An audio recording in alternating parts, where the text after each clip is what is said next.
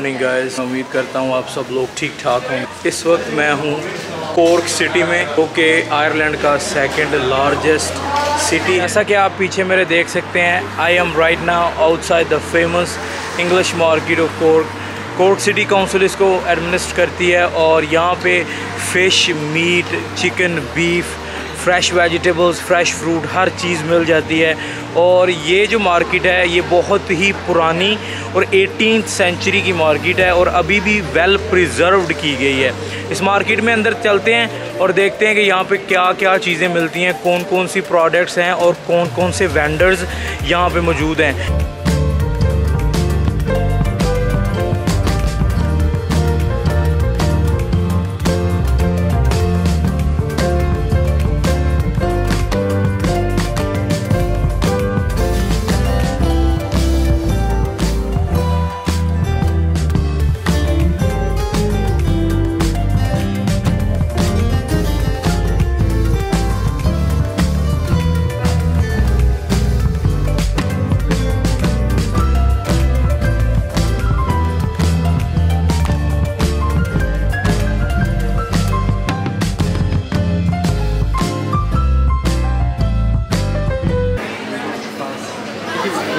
Almost finishing. They got meat हर चीज़ यहाँ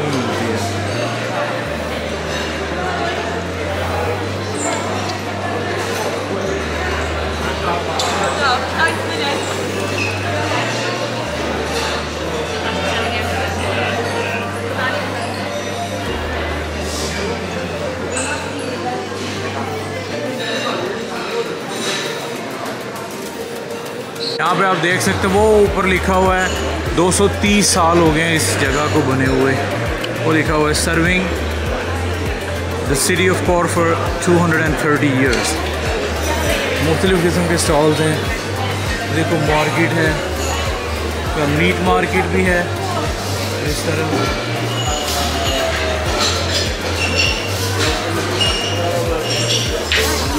ये sweet shop भी आ गई है।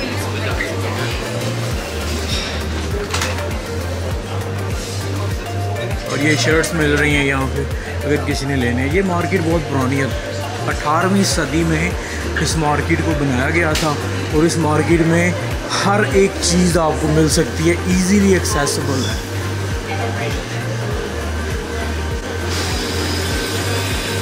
चिकन है। हर चीज़ है बेकरी की हर सामान मिलता है यहाँ पे। आयरलैंड के जितने भी फार्मर्स हैं, वो यहाँ पे आते हैं और अपनी फ़्रेश जो फ्रूट्स हैं या वेजिटेबल्स हैं, वो यहाँ पर लाते हैं और यहाँ पर सेल करते हैं।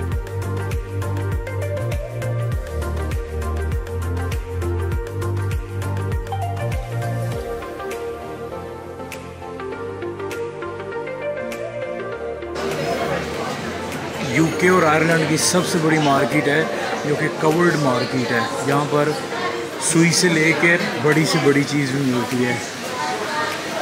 हर चीज़ मिल रही है थिंक दीज आर ऑयल्स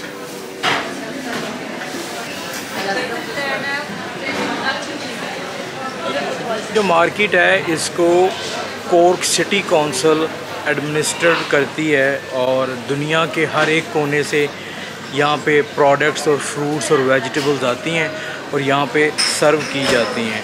ये बेस्ट नाउन मार्केट है जो कि यहाँ पर टॉप नाच रेस्टोरेंट भी मिलते हैं टॉप नाच मार्केट में हर एक चीज़ जो टॉप नाच होती है वो भी इधर मिलती है। और छोटी से छोटी जो लोकल मार्केट में सामान मिलता है उस तरह का सामान भी यहाँ पे मिलता है। So it is one of the kind of the market finally I see some avocados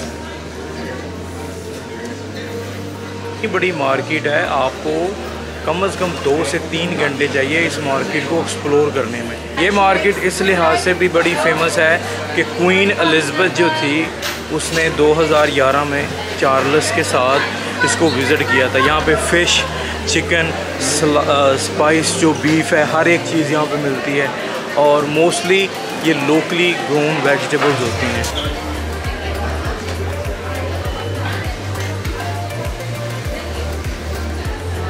सारी वेजिटेबल्स जो हैं जो लोकली ग्रोन हैं।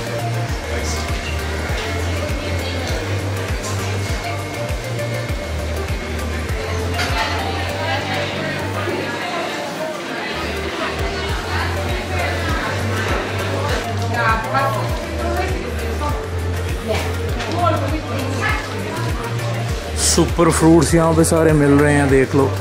वो जो आइलैंडर फ्रूट्स होते हैं।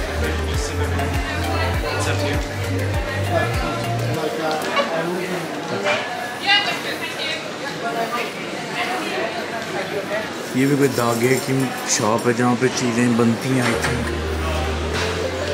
ये कोई वो ओल्ड पंसार नहीं होते? वो जो हकीम वाले होते हैं, वो दुकान है।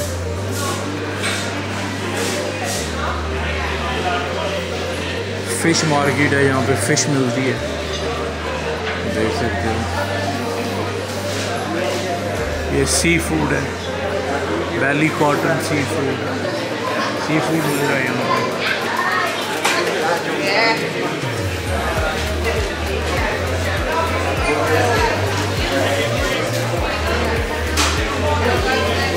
फ़िश मिल रहा है देख लो आप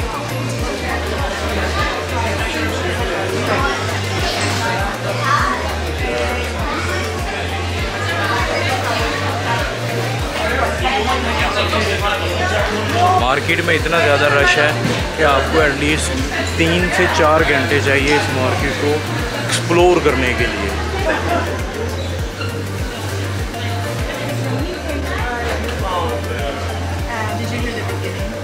ये मेन स्क्वायर है।